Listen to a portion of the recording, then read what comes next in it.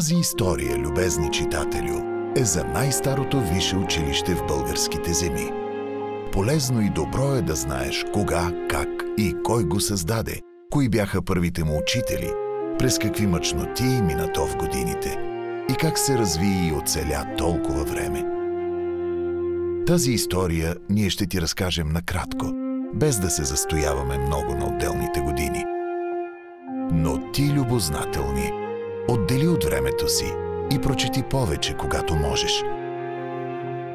Защото искрата, която свети вече 130 години, още пали огън у младите и огрява пътя им към светлината.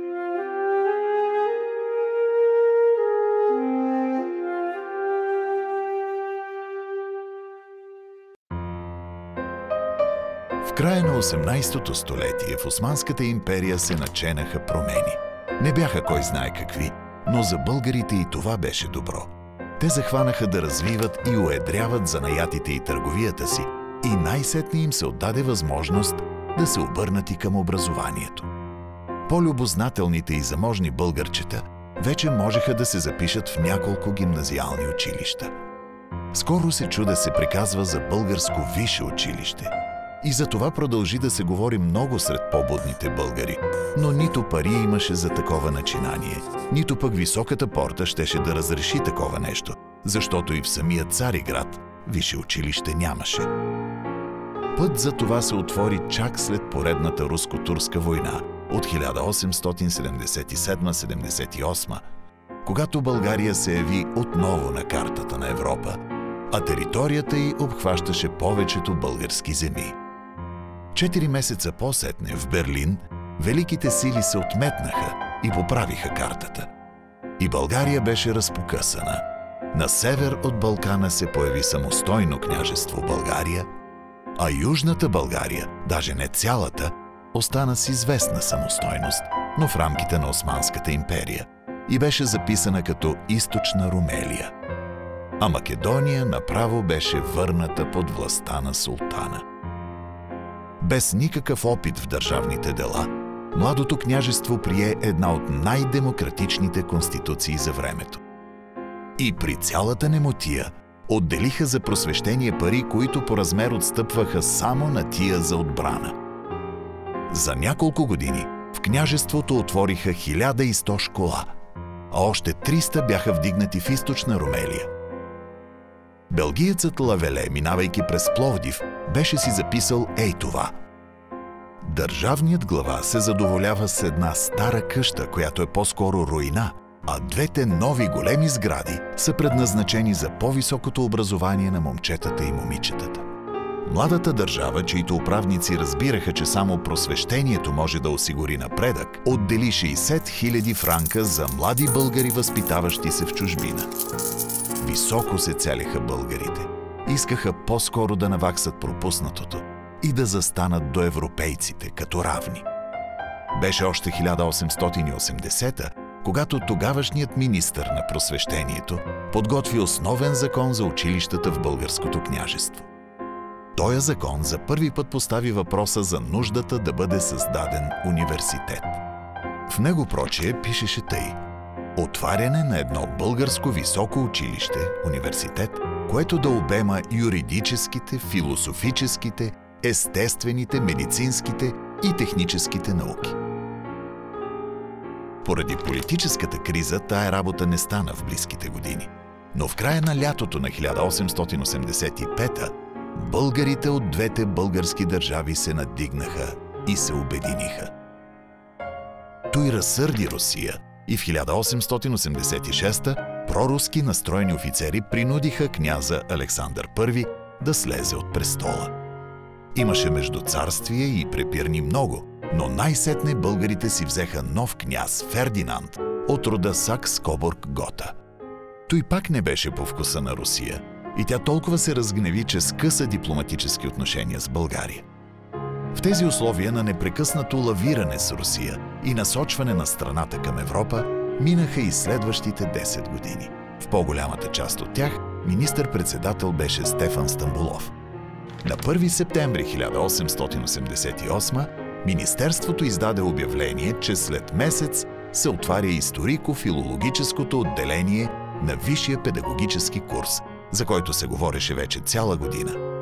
Целта на курса беше подготовка на учители. Откриха го на 1 октомври. Скромно.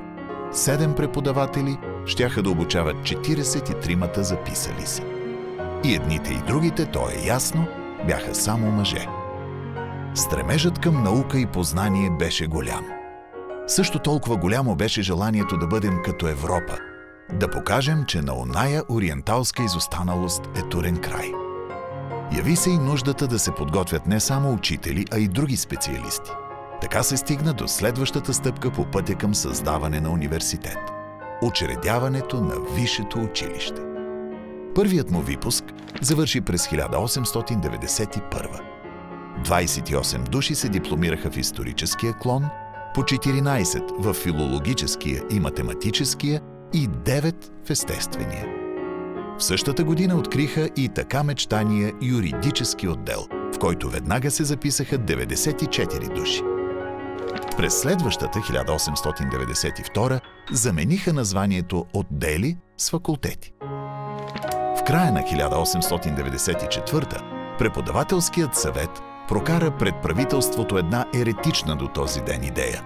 Ректорът вече да не бъде определен от министъра, а да бъде избиран от редовните професори. Така беше направена и първата крачка към автономия. През 1900 година Академичният съвет прие названието Висше училище да бъде заменено с университет. А сега ще разкажем накратко за братята Евлоги и Христо Георгиеви, които направиха възможно построяването на сграда на университета. Братята Георгиеви от Карлово живееха в Румъния. Там бяха търговци, земевладелци и банкери. Те бяха натрупали голямо богатство, което не харчеха за себе си, а искаха да направят нещо за Отечеството. Бог прибра Христо още преди освобождението, а Евлоги живя до 1897. Но преди да си отиде, обяви завещанието си, което за въздигането на първи български университет оставяше 800 000 златни лева плюс едно място над 10 декара до сами тогавашния център на София. После, когато отвориха завещанието му, там се намериха още 6 милиона златни лева, оставени за построяването и издържането на висше училище. Сега няма да се занимаваме с всичките препирни, които последваха след отваряне на това завещание и продължиха чак до 1924 когато се и положи основният камък за строежа. Но тези благочестиви и родолюбиви мъже направиха възможно построяването на една от най-красивите сгради в България. Не сравнявайте, проче, тяхното дело с делата на сегашните богаташи, ако искате да останете в добро разположение на духа и да запазите своята веселост.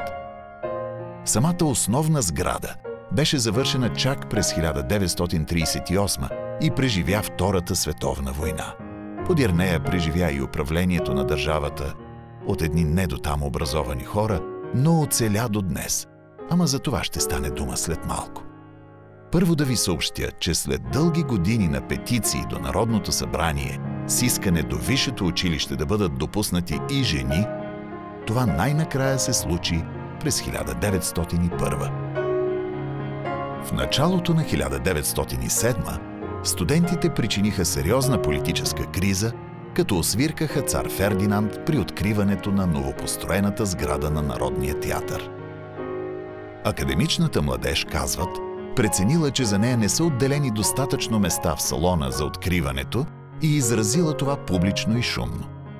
В резултат, министър-председателят, порядъчно нароган от монарха, взе решение за затваряне на университета за половин година. Едно от обвиненията при дебатите в Народното събрание беше, че професорите привнасяли в България твърде много европейски идеи. Както виждате, още тогава някои се опитваха да плашат българите с лошото влияние на Европа. Междувременно премиерът Димитър Петков беше убит на улицата. Опозицията успя да яхне вълната на недоволството и на 16 януари 1908 беше съставено ново правителство, което върна всички преподаватели обратно в университета и утвърди правото му на вътрешна автономия. През есента на 1908 България тържествено обяви пълната си независимост. Това бяха години на стопански възход. Чувствително се подобри и инфраструктурата на страната. Подготви се и нов закон за университета, в който особено място заемаше идеята за подкрепа на даровити студенти. Предвиждаше се създаването и на технически, и на агрономически факултет. Но в есента на 1912 учебната година за Софийския университет не започна.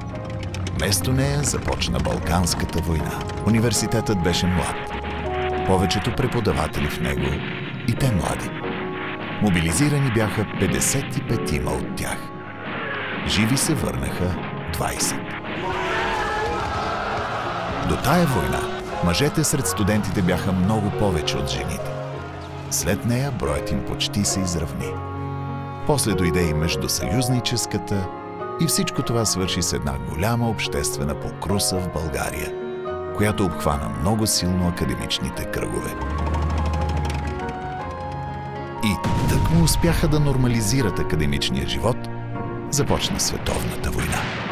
Но дори и в това време мисълта за бъдещо развитие остана жива. Започна работата по създаване на медицински факултет.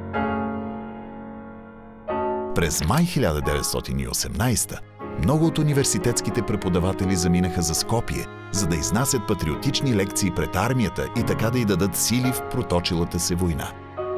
Особено радостно беше това за войниците студенти, които видяха, че не са забравени от своите преподаватели. В края на същото лято България излезе от войната. Съглашенските войски пробиха фронта в Македония, в Солун беше подписано примирие, Фердинанд първи абдикира и на трона седна синът му Борис III. Настроението в цялата страна беше тягостно. Демобилизацията обаче върна преподавателите и студентите към академичния живот. От 1921 посещението на лекциите стана задължително, а това естествено много подобри резултатите от университетското образование. В 1922 противоречията между университета и управляващите земеделци се изостриха до толкова, че правителството за економии намали парите на университета, съкрати няколко професори, а други понижи в доценти. Студентите демонстрираха, полицията ги разпръскваше и постепенно се стигна до решението на Академическия съвет да прекрати учебните занятия до отмяна на актовете на министъра. Университетската криза беше вече факт, даже мнозина я сравняваха с тази от 907. Тя продължи до август, когато правителството отстъпи пред на студентите и подписа специален протокол, който сложи край на кризата. На 9 юни 1923 нелегалният военен съюз извърши преврат и предаде властта на безпартийния граждански комитет Народен сговор. За министър-председател беше избран професор Александър Цанков, който стана и просветен министър. За първи път премиерският пост беше поет от възпитаник на Софийския университет. През 1923-24 учебни занятия започнаха в новите агрономически, богословски и ветеринарен факултет. Правителството увеличи преподавателските заплати и на няколко пъти сваляше студентските такси, като от такса даже бяха освободени бедни студенти с много добър успех. За две и половина години управление на Александър Цанков бяха отпуснати близо 67 милиона лева за строителство на сгради за различните факултети и ректората. От 1926 следващото правителство, първото на Андрей Ляпчев, осигури на образователната система спокоен период на умерена модернизация и развитие. Но към пролетта на 1930 последиците от световната стопанска криза започнаха да се усещат и тук.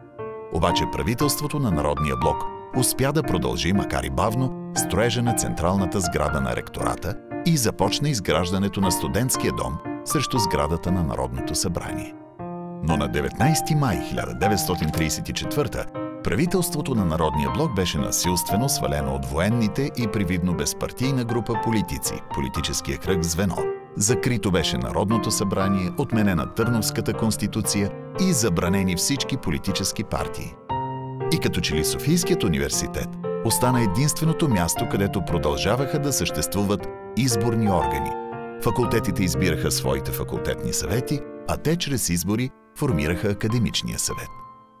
Университетът се превърна в последното убежище на демократичните принципи. но на 16 декември 1934 на бляскава церемония в присъствието на царското семейство, дипломатическия корпус, Светия синод и почти целия управляващ елит беше открита централната сграда на ректората.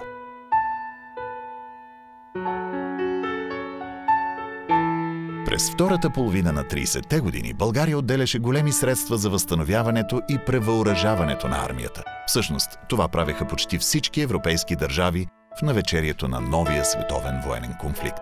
Така че съкръщенията на средства и преподаватели продължиха. Но през 1938 година министър на просвещението стана професор Георги Манев, който в предишната година беше ректор на университета. И за първи път от 10 години насам средствата отпускани за Софийския университет бяха увеличени. Завършилите Софийския университет вече заемаха едни от най-високите постове в държавната, регионалната и местната администрация и формираха ръководството на всички сфери на български обществен живот.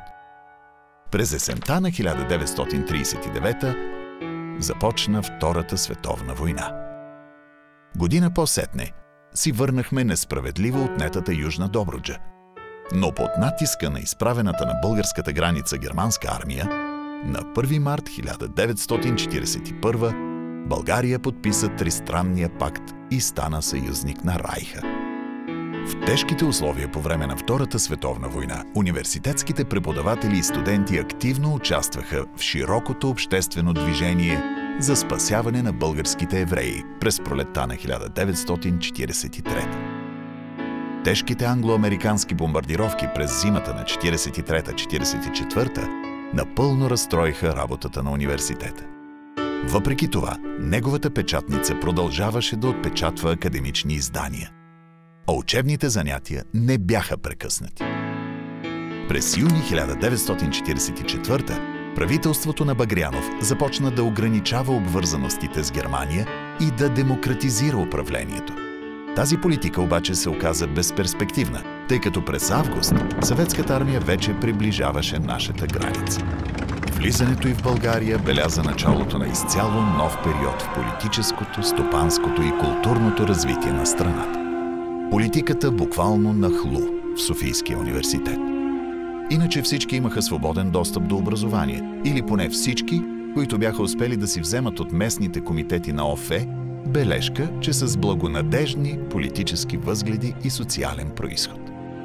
Но това беше само едната част от прочистването на университета. Другата засягаше преподавателския състав. На смърт бяха осъдени университетски професори, участвали в последното правителство преди 9 септември. От университета бяха отстранени и преподаватели, обвинени от така наречения Народен съд заради научната си дейност и професионални занимания – в съвместна работа с съветските учени, българската историческа наука преживя сериозна промяна по посока на марксизма. 20% от местата за студенти бяха заделени за политзатворници, партизани и участници в съпротивата. Въпреки тези условия, повечето преподаватели се стремяха да върнат на университета облика на институция, поддържаща професионални контакти с чужди университети и научни центрове. Комунистите обявяваха за врагове на народа всички, които не споделят тяхната идеология. Враговете не бяха допускани до университетските аудитории. До началото на 1949 изключиха 1378 студенти, а поради прочистването, наказанията и ниското заплащане, 154 преподавателски места останаха незаети. Тези места бяха попълнени от идеологически правилни хора, верни на БКП. Като цяло интелигенцията беше считана за враг на народа. Следваше се неотлъчно челния съветски опит във всичко. Генетиката, например, беше обявена по съветски образец за буржуазна, антинаучна и откъсната от практиката, а редица преподаватели и историци бяха обвинени в великобългарски шовинизъм. Имаше само една държава, която официално можеше да бъде обожавана и това беше Великата съветска страна. В университета беше въведена съветската система за задочно обучение, а в началото на 50-те години се появиха и работническите факултети РАПФАК. Предвидено беше 40% от приеманите студенти да са младежи работници в индустриалните предприятия. Според преподавателите обаче немалка част от участниците са били с изключително ниска грамотност и без особена склонност към науката. През януари 1953 по решение на БКП към Философско-историческия факултет беше създадена катедра по история на БКП, а отделно беше обособена катедра по политикономия. През 1954 университетската общност се противопостави на завидната по своето скудоумие идея на БКП статуите на братята Евлогия и Христо Георгиеви да бъдат демонтирани, защото не било подходящо на входа на социалистически университет да седят двама капиталисти. И това не беше всичко. Поискаха да сменят патрона на университета, тъй като Свети Климент Охридски не бил подходящ, името му се свързвало с буржуазното минало – Вместо това предложиха Алма Матер да се казва Димитър Благоев. Слава Богу, здравият разум надделя и университетът запази името си. Но пък прочистиха библиотеката му от вредни книги, такива в които, цитирам, се възхвалява буржуазния морал, частната собственост и се споменава Господа. В тези условия Софийският университет беше принуден да отстоява своите традиции, да съхрани вкуса към научните изследвания – и да продължи да събужда у младите интереса към науката. Размразяването при Хрущов след смъртта на Сталин отпуши вълна от критики на досегашния модел на управление. Интелигенцията стана по-смела, но след събитията в Полша и Унгария БКП втвърди позицията си. Спрямо университета последваха нови репресивни действия и изключвания на студенти заради происхода им. Редом с това обаче се предвиждаше да се осигурят специализации в чужбина – и участие в международни конференции и да се подобри организацията на научно-изследователската работа. Идеята за научно-технически прогрес през 60-те превърна у нас науката в приоритет и това доведе до сериозно увеличаване на финансирането й. След падането на Хрущов от власт обаче, сталинистките сили у нас се активираха. Опитът на някои преподаватели да защитят пред Живков свободата на творческата мисъл остана без внимание. На неудобните беше напомнено, че трябва да се съобразяват с партийните изисквания. Новата конституция от 1971 официално обяви България за социалистическа република, в която водеща роля има БКП, а ръководен принцип е сътрудничеството и взаимопомощта с СССР. Това е политическата рамка, в която се развиваше Софийският университет през последните две десетилетия на държавния социализъм у нас. Но големите очаквания от 50-те и 60-те за високи економически темпове, с които България щеше да настигне и даже да изпревари развитите капиталистически страни, сега се бяха стопили. На преден план излезе нов проблем. Как да се спре економическото изоставане? Университетът влезе в 80-те години с големи надежди за бъдещето. По случай 100 годишния юбилей му обещаха целево финансиране, създаване на фонд научни изследвания, допълнителни стипендии, привличане на чуждестранни лектори и така нататък. През 1985 обаче, начало на Съветския съюз застана Михаил Горбачов. Започна перестройката. Основните постулати на държавния социализъм започнаха да се клатят и в економиката да се прокрадват пазарни принципи – в държавата на Тодор Живков започна снишаване и изчакване да мине вятъра. Призивите за гласност, сиреч свобода на словото, дошли от Съветския съюз, започнаха да си пробиват път първо в семинарните занятия, където асистентите все по-свободно обсъждаха с студентите проблемите на социализма. Тържествата по случай 100 годишнината бяха в началото на учебната година, а скоро след тях, на 3 ноември, в 65-та аудитория – беше учреден клуб за подкрепа на гласността и преустройството в България. Голям брой от учредителите му бяха представители на университета.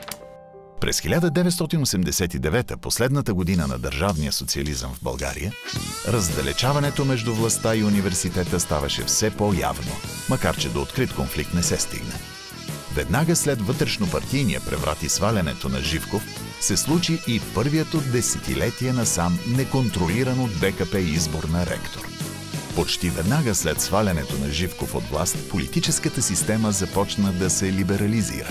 На 14 декември студентите направиха жива ограда около Народното събрание с искане за автономия. Към студентската акция обаче се присъединиха много граждани и постепенно исканията еволюираха до отпадането от Конституцията на знаковия член първи, който определяше ръководната роля на БКП.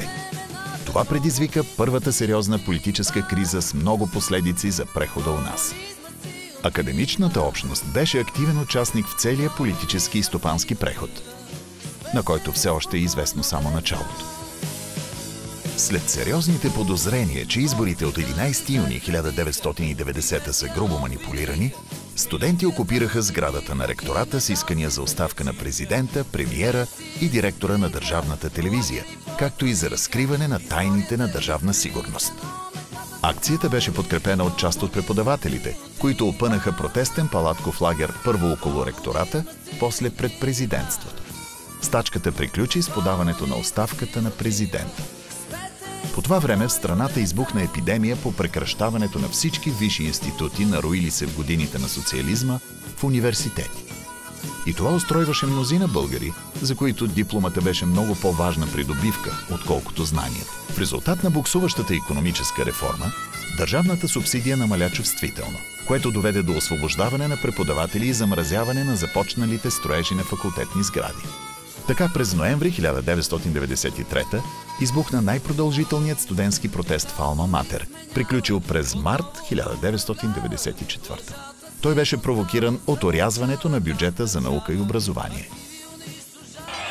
Последната протестна акция от този период, в която се включи университетската общност, съвпадна с противопоставянето срещу управлението на завърналата се на власт БСП. На 10 януари 1997 студенти и преподаватели заедно с други недоволни групи организира пред Народното събрание протестна акция с искане за предсрочни избори.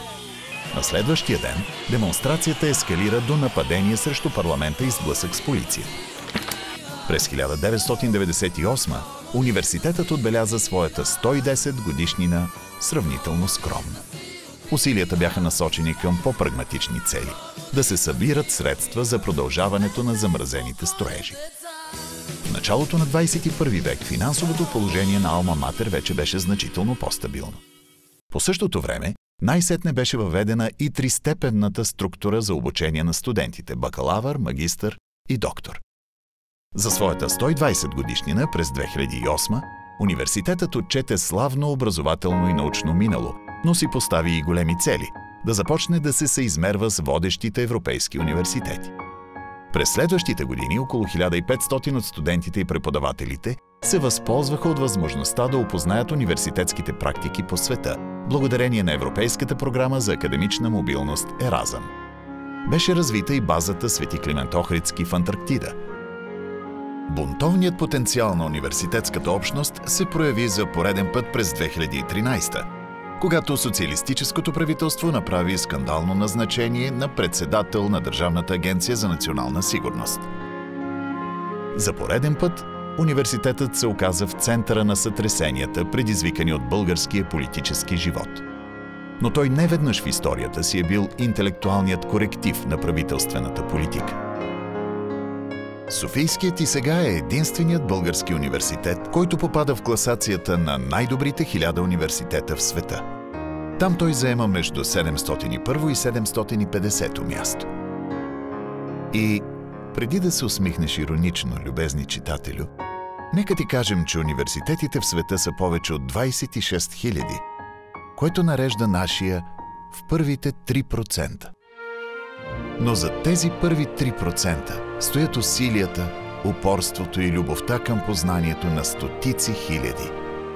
За тези 130 години почти четвърт милион българи са получили образование тук.